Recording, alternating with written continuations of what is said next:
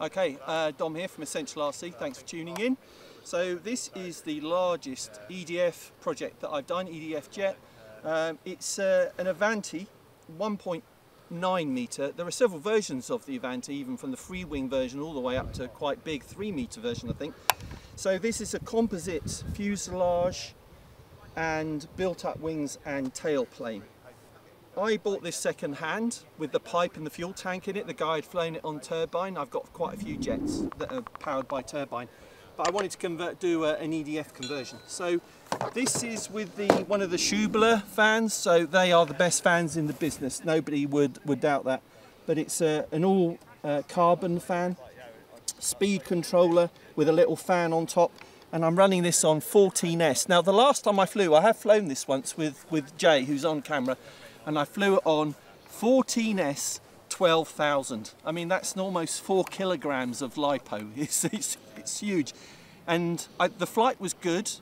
It felt quite good in the air, but it landed quite heavy. And I'm, I'm, as with turbine jets, they land without the fuel. They burn all the way through it. So you have to be quite conscious when you fly EDF jets of what your landing weight is going to be because you don't want to rip the, uh, the retracts out.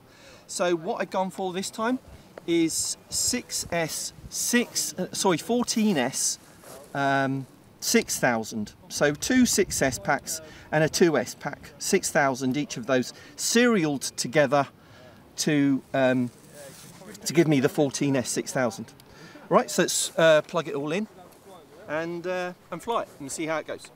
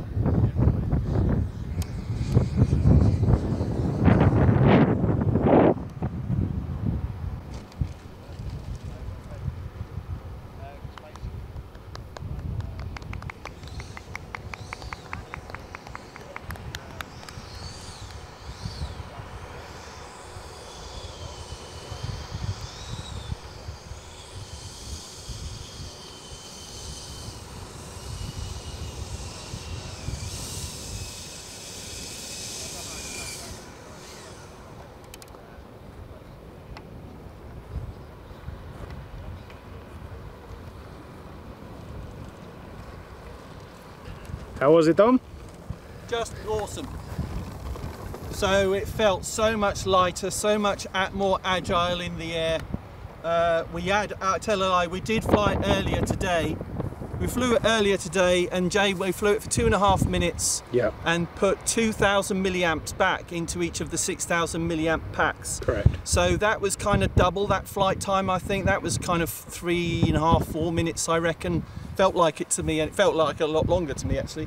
But uh, I'm full throttle on the on the passes, and about half throttle on most of the the uh, around the back. So really happy with the performance of that. I can probably get longer, but really nice. Uh, quite surprised. Two meter sport jet on 14S 6000 doesn't get any better than that. You're getting up near turbine times.